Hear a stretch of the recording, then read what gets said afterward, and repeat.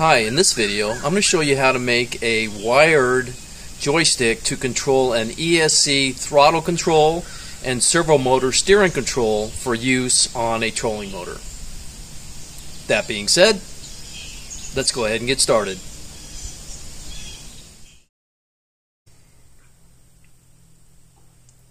This is the mini joystick with the two 10K potentiometers I'm going to be using in this project.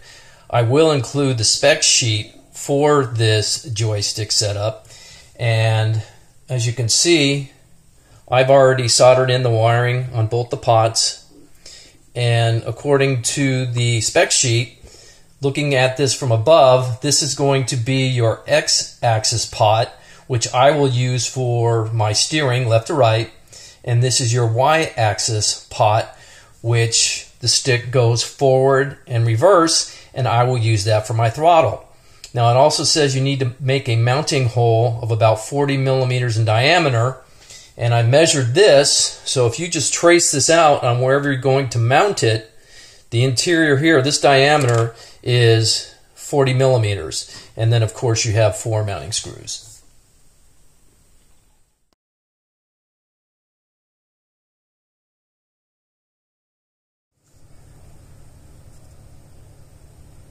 This is the servo controller board kit before you do any of the modifications. Now I did make a video of this project before and I will include it in the narrative section and I'll briefly go over what I'm going to do here.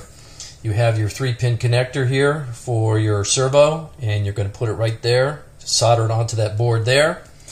And then on the opposite side here is where you're going to have your leads for your 10K pot or in this case, what I'm using is the 10K joystick.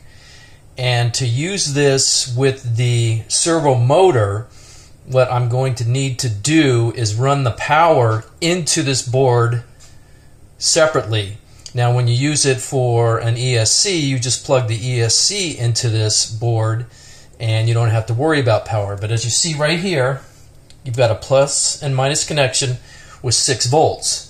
So in order for this to work with the power supply I'm using, I had to take one of these connectors here, the extensions for your three pin, this end and this end, and then I cut off the female side and stripped off the white or the signal wire because this is going to act as my voltage plug for the voltage that needs to run this at 6 volts. So that's the little difference I made there, and you'll go ahead and solder them in where I showed you. This is the completed modification for the circuit board for use with the servo motor and you can see I have my pins over here. I've got my plug-in for the power and the three lines going out for the speed controller or the joystick.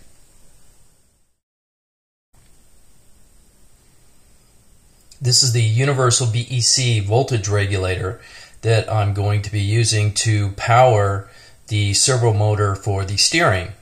And this is rated at 6 to 36 volts, 2 to 8S LiPo batteries with a continuous rating of 8 amps and a max or a peak rating at 16 amps.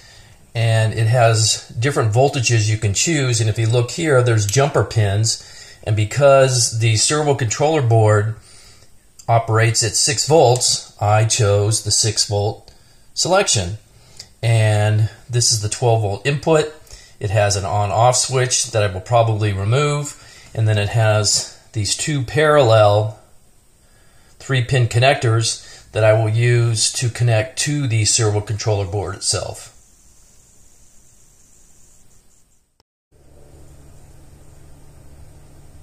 I wanted to give a little better detailed explanation and view of the modifications I made to the UBEC before I put it in the box because then it's going to be hard to tell what I've done. So the power input to the unit, I put spade connectors on and I'll have the female spade connectors for the power. And then here, I cut off the on-off switch and then used a three pin female connector and just use the positive and negative wiring. And then what I took here was a new on off switch and I did the same thing on the male one here. I just spliced in the positive and negative and that way this will be a quick disconnect when I want to remove it. Then over here on the servo control board, I did the same thing for the power input.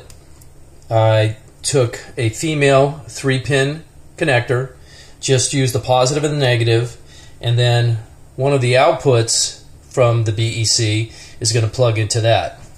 Then I'm going to put each of the servo control boards in one of these little plastic cases. If you've done any work with wireless receivers, you'll recognize this case. And then I cut a couple little slots in here and that's where the wiring is going to come out and then I'll use some double stick tape on the back to hold it in the box.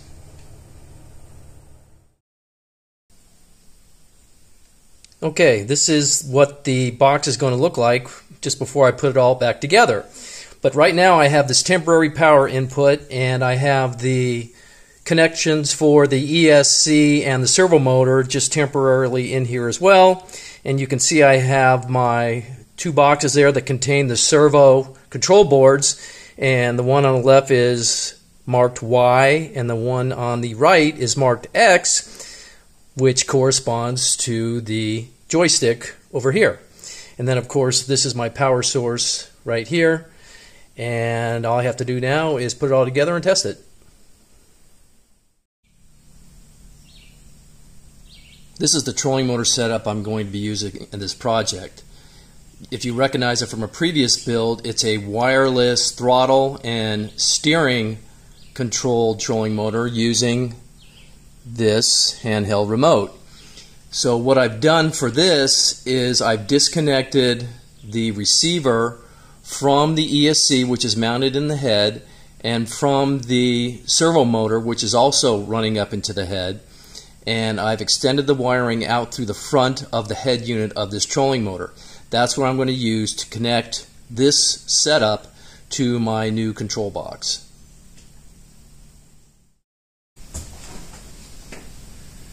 Okay, I've already powered on the ESC that's in the head of the trolling motor and the servo motor that is running off the power supply in my control box.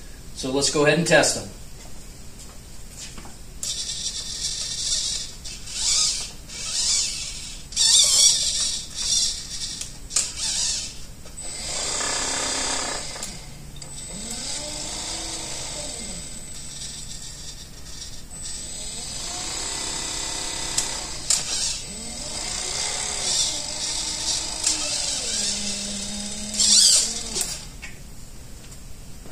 So everything works as it should.